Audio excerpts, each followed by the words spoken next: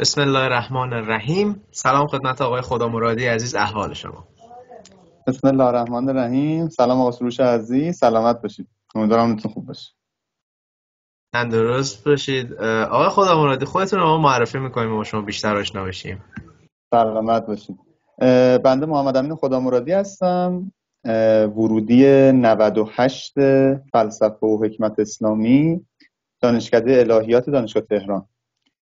و الان هم که باتون صحبت می‌کنم ورودی 1402 یعنی همین چند روز دیگه ترم شروع میشه فلسفه دین دانشکده الهیات دانشگاه تهران ارشد. به به به به. من چجوری پیدات کردم؟ مثلا هنوزم که هنوز پرام ریخته. آره چجوری؟ نمی‌دونستم جان؟ چجوری؟ گفتی سرچ کردی تو تلگرام؟ من تلگرام آره تلگرام سرچ کردم گروه کلاسیتون اومد. گروهتون اوپن بود. بعد اومد دیدم خب ادمین کیه؟ به ادمین پیام دادم. نمی‌دونستم مثلا ارشد رفتی ارشد دمت گرم آقای بعد خب آقا بریم سراغ رشته فلسفه و حکمت اسلامی. اینکه به من بگو اصلا فلسفه این رشته فلسفه چیست و خب چه درسایی می‌خونید در طی دوران کارشناسی؟ سلامت باشه البته من مطلق راجع به کل فلسفه صحبت می‌کنم. حالا هم فلسفه هم فلسفه اسلامی. حالا چون از این جهت خیلی با هم تفاوت نداره. توضیحات رو عرض کنم خدمتتون. راجع به دروسش فرمودی توضیح بدم. با این شروع کنیم. خب تو مقطع کارشناسی معمولا گرایش فلسفه همون اسمش فلسفه است. حالا معمولا بهش میگن فلسفه غرب یا فلسفه محض ولی تو چارت اون انتخاب رشته اگه شما فلسفه رو می‌بینید منظور همون فلسفه غربه. یعنی چی فلسفه غرب؟ یعنی محوریت دروس با فلسفه غرب هستش. و درصد بیشتری از دروس بهش اختصاص پیدا می‌کنه. در کنارش البته فلسفه اسلامی می‌خونن منتها نسبتش کمتره. در رشته فلسفه اسلامی که بنده کارشناسیم رو گذروندم فکر کنم یکی دو دانشگاه بیشتر در ارشد نداره در کارشناسی ندارن.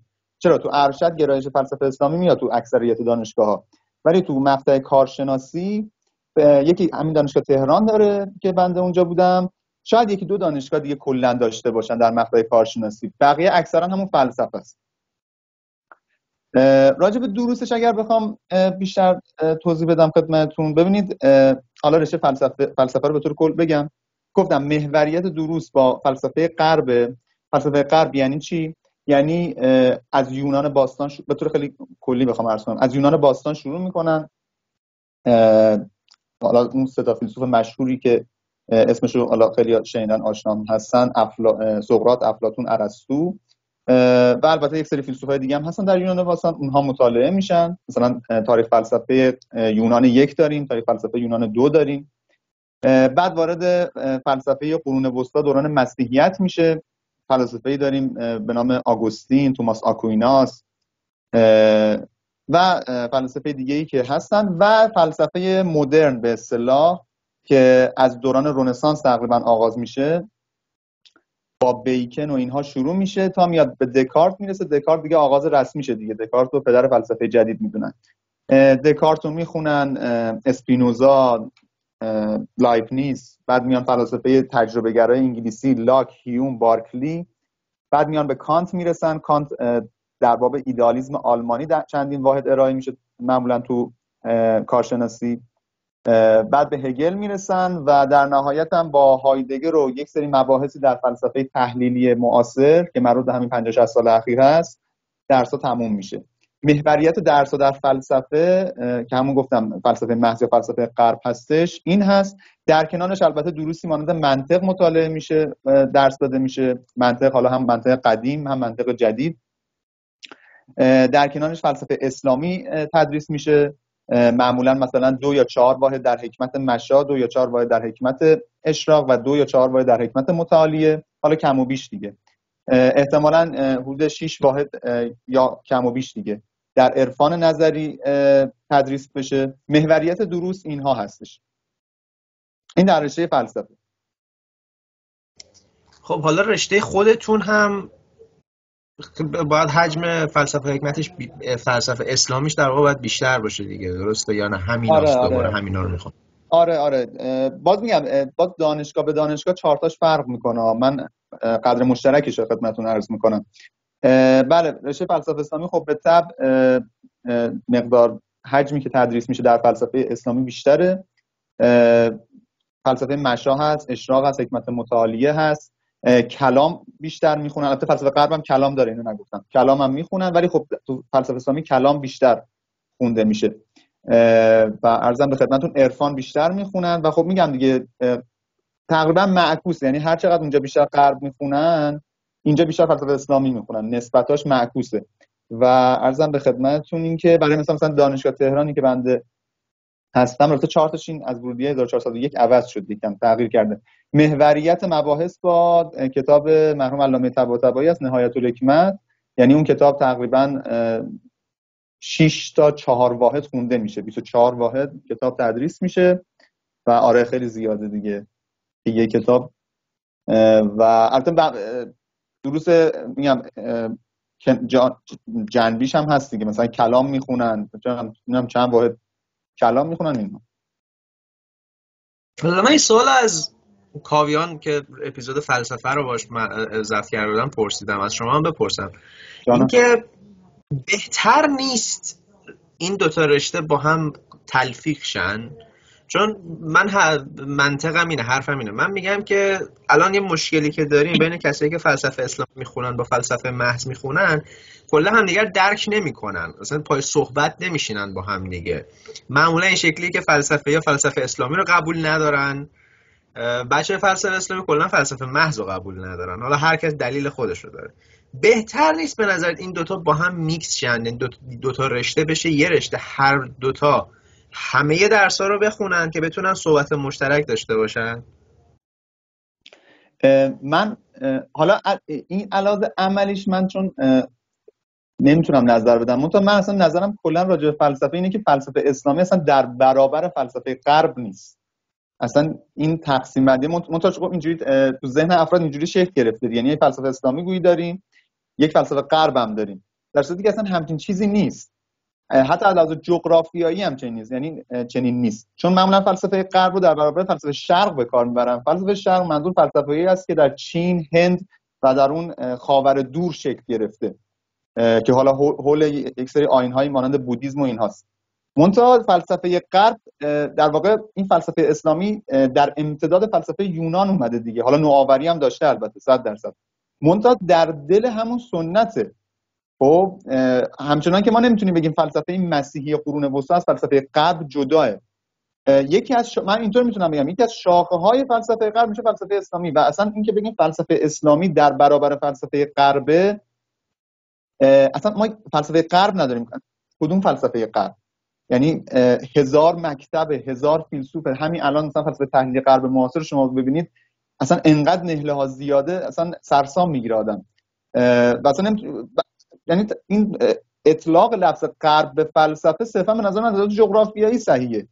وگرنه بگیم که فلسفه غرب یک چیز خاصی در اندیشه است در اندیشهش است که اون رو غربی می‌کنه که هرچه برخی متفکران سعی کردن اینو پیدا کنن و مثلا گفتن گاهی گفتن نهلیز مثلا شاخصه اصلیش من اینو قبول ندارم چون چون فلسفه خدا باور داریم خدا ناباور داریم مسیحی داریم ضد مسیحیت داریم. من اینطور می‌دونم فلسفه غربی تو جغرافیاییه فلسفه اسلامی هم ذیل همون تعریف میشه از نظر من و این تفکیکش علاوه نظری به نظر من کاملا مخدوشه. البته به این معنا نیستش که اصالت فلسفه اسلامی از بین بره همچنان که اصالت فلسفه مسیحی از بین نمیره. منتها در برابر هم از نظر بنده نیست. خیلی عالی گفتی. قشنگ. من من راضی شد من, من برای من کافی بود. حالا ازت پرسم گرایش ارشد دکترا این رشته چجوریه تو ایران؟ راجع به گرایش ارشد اینجا فلسفه اسلامی دیگه از فلسفه جدا میشه دیگه. یعنی دو تا کنکور در ارشد برگزار میشه. یه کنکور همون فلسفه است که حالا میگم بنده کدومشو دادم. یه کنکور هم کنکور فلسفه و حکمت اسلامه یا فلسفه و کلام. این معمولا اسمش عوض می‌کنه. مثلا یه سال میشه فلسفه کلام یه سال میشه فلسفه حکمت. همونه. خیلی فرق نمی‌کنه. مثلا ممکن یه دانشگاه اسم گرایش ارشد باشه فلسفه و حکمت اسلامی یکی باشه فلسفه و کلام. اینا خیلی فرق نمی‌کنه. عوض میشه اون کلام و حکمت. راجع به رشته فلسفه حالا فرمودید ضبط شده توضیحات مفصل رو دادن دیگه. رشته‌ای مثل همون فلسفه غرب هست که دوباره میشه امتداد داد. فلسفه هنر هست. فلسفه رسانه هستش و فلسفه دین هستش که برای مثال من امسال کنکور فلسفه رو دادم. فلسفه دین رو از طریق کنکور فلسفه باید رفت نه از طریق کنکور فلسفه اسلامی. باز این فلسفه دین یکی از رشته‌ای که این چند سال یکی دو بار جابجا شد. یعنی یک سال من فکر کنم سال 99 بود. رفت زیل کنکور فلسفه فلسفه و حکمت تو ارشد بعد دوباره برگشت زیل کنکور فلسفه. ولی راجع به فلسفه اسلامی که حالا محل صحبت ما هستش شما همین فلسفه حکمت اسلامی رو می‌تونید ارائه بدید. الان همین دانشگاه تهران دانشگاه الهیات ارشد هم داره دیگه فلسفه و کلام یا فلسفه و حکمت اسلامی میگم اسمش مهم نیست. اون رو داره اصلیش اینه یعنی گرایش اصلی ارشدش اینه. گرایش های دیگه هم داره مثلا کلام شیعی همچین گرایشایی که ارائه میشه. آه ببخشید اینم خب. ببخشید عرض کنم خدمتتون. یکی از گرایش مهمی که تو البته فلسفه از طریق هم کنکور فلسفه میشه فلسفه منطقه که خصوصا دانشگاه تربیت مدرس خیلی طرفدار داره فلسفه منطقش و از طریق کنکور فلسفه باید اقدام کنید. خب برم از بازار کار بپرسم بازار کار این رشته حالا تقریبا میشه فلسفه ها با هم حساب میشن آره. دیگه توی آره بحث بازار کار. بازار کار چجوریه؟ واقعیت رو آره دیگه واقعیت دیگه. ببینید من من از اینجا ورود می‌کنم که می‌خوام به این ورود کنم. به نظر شما اگه مناسبه که کیا بیان بخونن؟ من با توجه به این به این بپردازم. ببینید میشه سوال بعدی که آره با این جوابش آره آره. آره. با این جواب. چون اینم رپ داره دیگه یعنی یکی از ویژگی هایی که یه رشته آدم می‌خواد بره بازار کارش.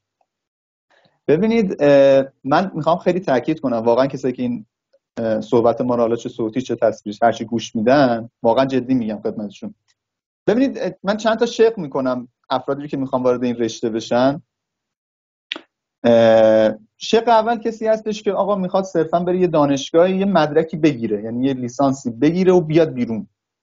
خب هستن دیگه. اصلا تقبیح یا تحسین نمی‌کنم چون دلایل هر کس می‌تونه منحصر به فرد باشه مثلا نمی‌تونیم قضاوت کنیم. اگر واسه این میاد خب اگر می‌خواد با این لیسانسش یعنی کار کنه با فلسفه این خیلی بعیده. یعنی با لیسانس فلسفه شما بتونید بگید که استخدام بشید و مرتبط باشه با فلسفه. این نکته مهمه. شما ممکن لیسانس فلسفه بگیرید برید یه جا مثلا استخدام بشه اصلا ربطی نداشته باشه. اون یه مسئله جداییه. اصلا ربطی به رشته شما نداشته.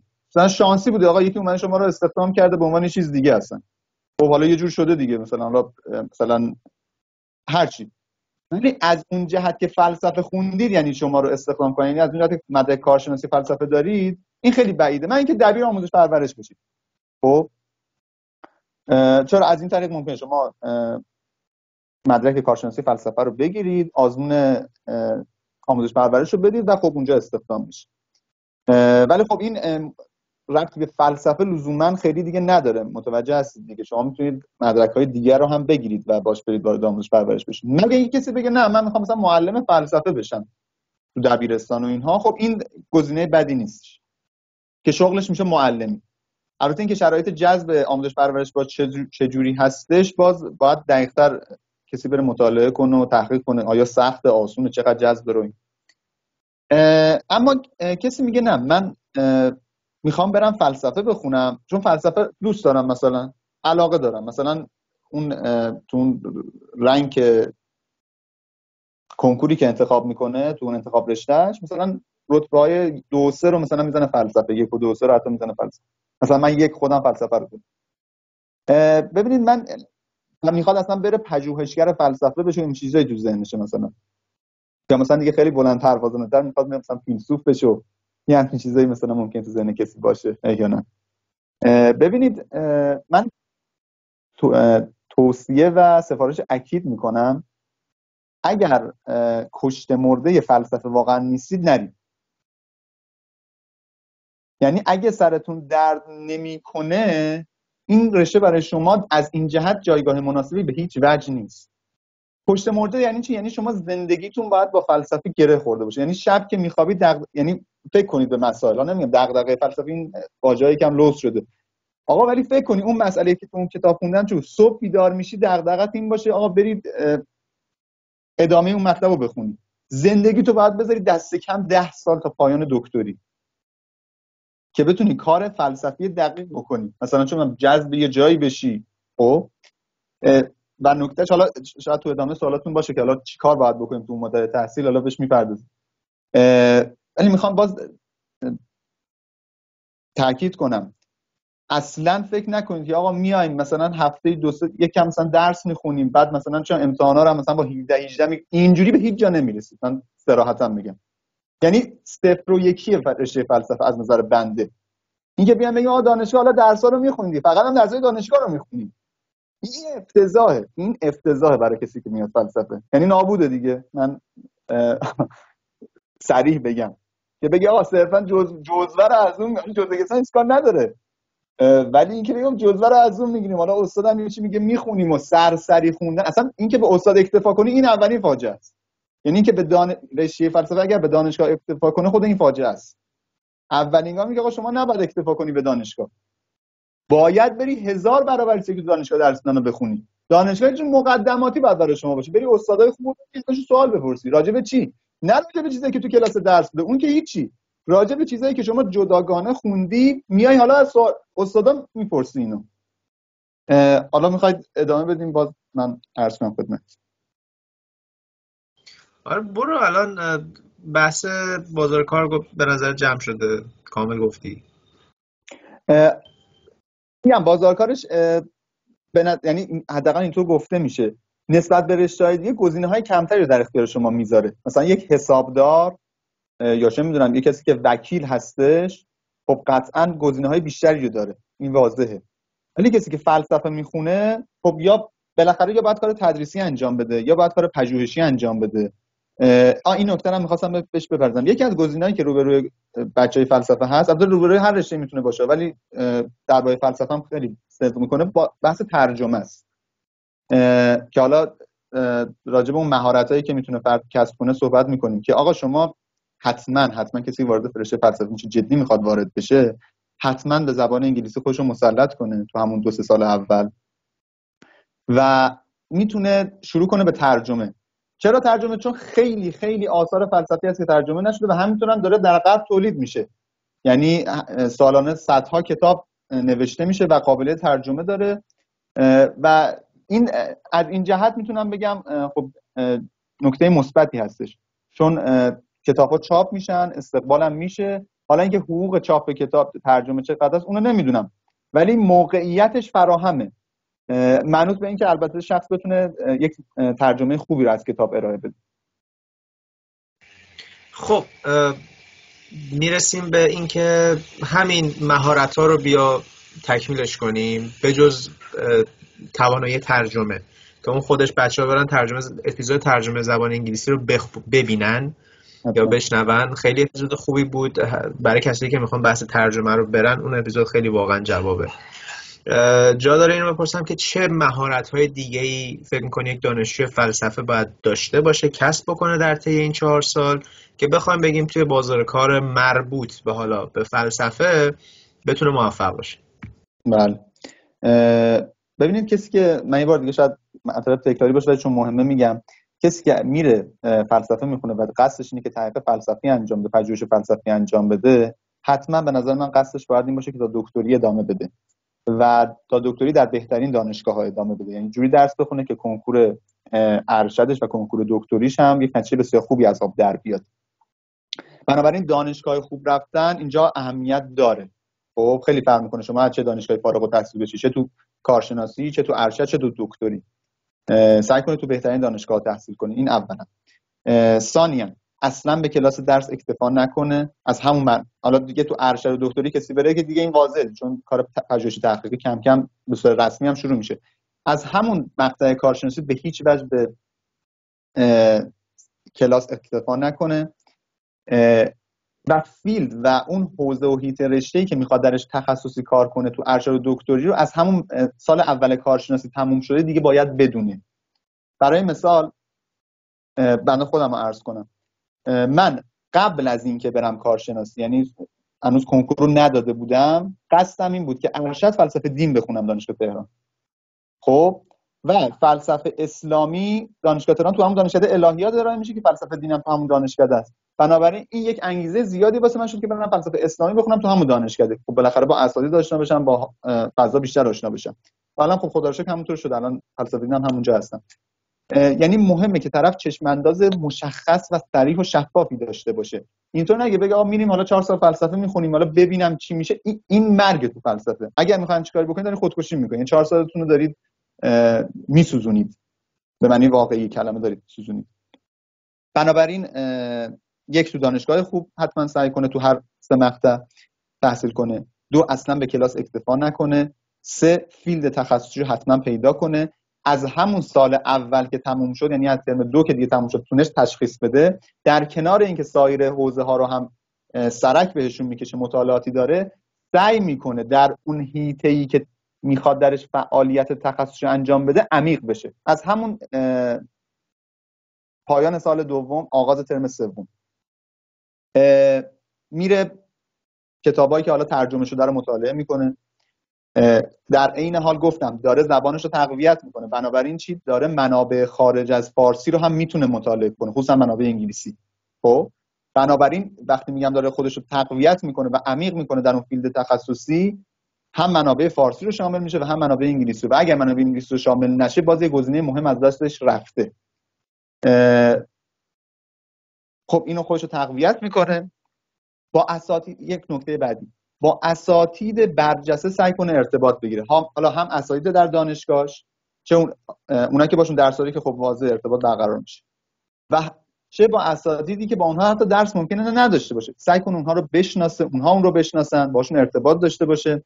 و اگر بتونه با اساتیدی ارتباط برقرار کنه که حتی خارج از دانشگاهش هستن اساتید مهم شناسایی کنه این باز به نظر من می‌تونه مهم باشه. این نکته. و ارزم به خدمتتون که ارزم به خدمتتون این نکته هم عرض کردم. و این نکته خیلی مهمه که از همون حالا نمیگم سال اول دیگه از عواست کارشناسی شروع کنه به نوشتن. حالا اینکه لزوما بره مقاله بنویسه کتاب بنویسه نه. سعی کنه تحقیقاتش رو شروع کنه. یعنی اینجور نباشه کارشناسی تموم بشه ایشون یه صفحه هم ننوشته باشه. این خیلی بده. میگم از اواسط این ترم سه چهار کم کم شروع کنید از نوشتن نترسه از بیان کردن نترسه. البته بیانی که سنجیده شده باشه مطالعه شده یعنی تو اون حوزه مستری مطالعاتی رو انجام داده به فراخور مطالعاتش میاد یک مطلبی رو می‌نویسه. لزوما هم نمی‌خواد یک مطلب بدی و جدیدی باشه. می‌تونه شرحی باشه از مطالبی که خونده اصلا اشکالی نداره. این باز به نظر من خیلی کمک می‌کنه. هم در تقویت نویسندگی روحیه پژوهشیش کمک می‌کنه. هم سبب میشه فیدبک ها بگیره بازخورد هایی بگیره نسبت به این نوشته بفهمه کجا رو داره اشتباه می‌کنه. حالا چه از سوی دانشجویان رفیقا چه از سوی حتی اساتید می‌تونه باشه. و خودش رو در معرض جرح و نقد قرار بده. این هم به نظر من نکته خیلی مهم. نشریات خیلی مهمن اینجا. نشریات انجمنهای علمی به خصوص. خیلی اینجا نقش مهم ایفا می‌کنم طبق حرف شما اگه قرار نوشتن باشه. حالا بله. اگه خودت برگردی از اول کارشناسی رو شروع کنی پیشنهاد چیه واسه بچه ها؟ واسه ورودی جدید؟ چیکار کنن چیکار نکنن؟ تقریبا میشه گفت همه اینا رو الان دوباره باید تکرار کنیم. اگه آره. همیناست که خب ببندیم بحث رو ولی اگر فکر می‌کنی چیز مجزایی داری یا اشتباهی مثلا خودت کردی اضافه کن و حالا بریم سراغ جنبندی. من یه نکته شاید این نکته رو دارم نگفتم نکته سلبی باشه یعنی پرهیز بدم از یک چیزی. حالا دانشگاه خب یه سری حواشی داره اون حواشی که حالا به کنار خود این رشته شما ممکنه یعنی خب پر... یعنی رفتن به سراغ حاشیه مساوی است با دور شدن از همین مطالبی که تا الان من داشتم می‌گفتم یعنی که شما برید تحقیق کنید این سبب میشه از اون جدا بیفتی. حالا به کنار اما یک سری کارام انجام میشه در دانشگاه. مثلا ببینید همین انجمنهای علمی اینجور مسائل یک تیغ دولبه به اصطلاح. یک انجمن علمی شما می‌تونید برید درش عضو بشید. این رو هم من پیشنهاد می‌کنم. یعنی صرف عضو در یک انجمن علمی هم و شما هم رزومه خوبی محسوب میشه. هم به اصطلاح اونجا چهار تا آدمو می‌بینید. بالاخره گزینه‌های به روی شما باز میشه. می‌تونید در قالب همون انجمن علمی شما متن بنویسید. اینا حالا در قالب هر چی در قالب مجله‌ای که دارن چاپ کنن و اینها. از این این سمت خوب ماجرا است. از یک طرف ممکنه خب از اونجایی که خب بالاخره شما در مقطع کارشناسی هستید و من فکر می‌کنم انجمن‌های علمی هم دست افراد کارشناسی باشه معمولا. از دانشکده ما که معمولا اینجور بودش. خب از, اون از این جهت ممکنه امکان داره ناخواسته انجمن به یه سری مسائل بپردازه شبه علمی باشه زرد باشه. خب و شما خیلی نباید مثلا خیلی که اصلا نباید درگیر بشید. آقا برم مثلا یه مثلا یه واسه این هفته مثلا می‌خوان یه چی رو برد بزنم من برم مثلا حالا یه بار اگه باشه اشکال نداره دو بار اگه باشه اشکال نداره این مشکلی نداره. ولی اینکه آقا من دغدغم بشه مطلب آماده کنم واسه اینکه بزنم رو برد این غلطه. این شما رو از هدف دور می‌کنه. این همون حاشیه هست. حاشیه مون تا علمیه. حالا حاشیه چیز دیگه داریم. این حاشیه علمیه. آقا من برم مطلب آماده کنم چه می‌دونم فلانی بخونه مثلا اینجا. این شما رو کامل از اون فضای علمی دور می‌کنه.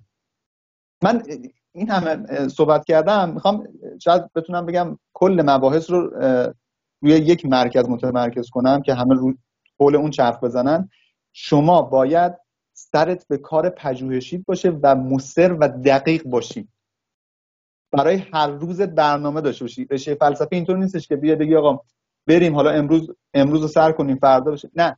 شما باید کامل واقعا باید حساب شده کار کنید. اگه حساب شده کار. نمی‌خواید کار کنید وارد این رشته نشید. خیلی هم عالی. آقا تمام صد... آقا بحث مهاجرت. مهاجرت با فلسفه اسلامی نمی‌دونم. مثلا مطرح هست توش یا نه؟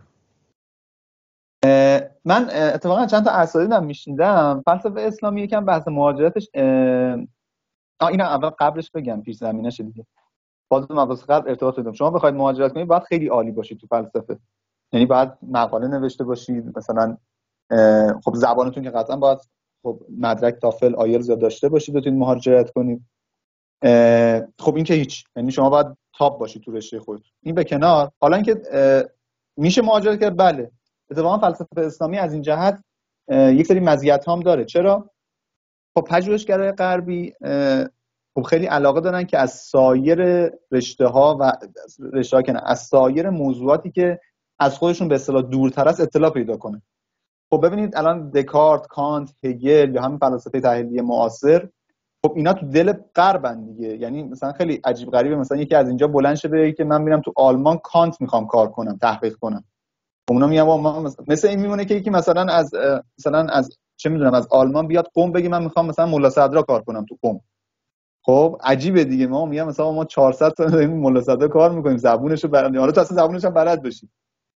خب معلومه ما خیلی من که چه عجیب غریبی باشه مثلا از هزار تا یکی اینجور در بیاد. از آلمان یکی بیاد مثلا قم یه چیزی بگه. شارحین صدرا در 400 سال نفهمیده باشن مثلا. خیلی عجیبه دیگه. همینطور اینم این برام صدق می‌کنه دیگه. که از اینجا بره مثلا تو آلمان بگیم آقا من یه چک کانت فهمیدم شما نفهمیدین مثلا. و خیلی عجیبه. یعنی به لحاظ پیشینی احتمالش خیلی پایین تره اما راجع به فلسفه اسلامی از اونجایی که خب غربی اطلاعشون خیلی کمتره. خب البته تخصصی کار کردن ها مثلا پیتر آدامسون کار کرده و اینها منتها خب یعنی الان مثلا مقالات چاپ می‌کنن مثلا نظر ابن سینا درباره مثلا فلان ضرورت میرن تحقیق می‌کنن. بنابراین استقبال می‌کنن. اگر شما فلسفه اسلامی رو خونده باشید و البته میگم بتونید به زبان انگلیسی این رو برگردونید و اگرم واقعا سطح دانشتون خوب باشه استقبال می‌کنن و میشه به مهاجرت از این جهت یعنی نگاه مثبت داشتش. یعنی وضعیت خوبه. خب. و حالا من یه سوالتم تموم شده. اگر در حد یه دقیقه دقیقه نیم به عنوان حرف آخر چیزی فهم کنین جا مونده نیاز به تاکید مجدد داره بگو و بعدش هم ما از حضور مرخص شیم. سلامت باشید. من یه توصیه اول بکنم. یه کانال معرفی می‌کنم. کانالی که از اساتید بنده است. کانال در جستجوی یقین رو شما اگر سرچ کنید از این جهت که ایشون یک چند تا مطلب گذاشته بودن سرچ کنید. مثلا راجع به فلسفه خوندن میادش. که توصیه هایی بود به کسایی که می‌خوان وارد این رشته بشن. هنوزم در کانالشون موجوده. کانال در جستجوی یقین. اونجا اگر برید ببینید اونها رو خوندن خیلی مفیده ایشون قشنگ تحلیل کرده که آقا چه کسایی وارد بشن نشن. من این کانال معرفی کردم که حالا شاید 7 تا پست بلند بالاست.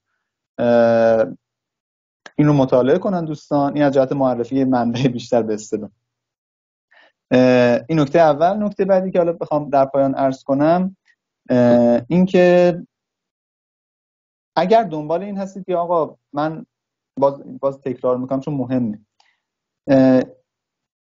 راحت مثلا برم دانشگاه چهار سال بعدش هم یا حتی 6 سال حتی ارشدش هم بگیرم بعد برم اینجا استخدام بشم. این با فلسفه جز حالا همون گزینه معلمی. خب آره اون گزینه معلمی خب بالاخره در دسترس باز میگم شرط جذبش من نمی‌دونم ولی خب در دسترس. به جز اون کار دولتی بعید مرتبط با فلسفه گیر بیاد. مگر اینکه گفتم همون شما برید فلسفه بخونید عالی و دقیق بخونید تعلیف داشته باشید مقاله داشته باشید. ارشدتون رو تموم می‌کنید مثلا 4 5 تا مقاله دست کم خوب داشته باشید. حتی کارشناسیتون تموم می‌کنید یکی دو تا مقاله داشته باشید. زبان بلد باشید حتی دو تا زبان بلد باشید تا پایین دکتری. شرایط جذب هیئت علمی فراهم میشه تا حدودی. به این داره که چقدر شما زحمت بکشید.